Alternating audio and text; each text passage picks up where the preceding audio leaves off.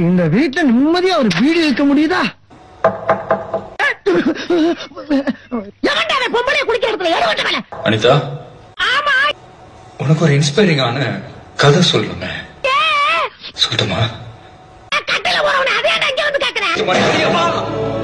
இந்த உலகத்துக்கு நீ யாரும் இன்னொரு தடவை. இது வர்றேன். இவன் வேற நம்ம பின்ன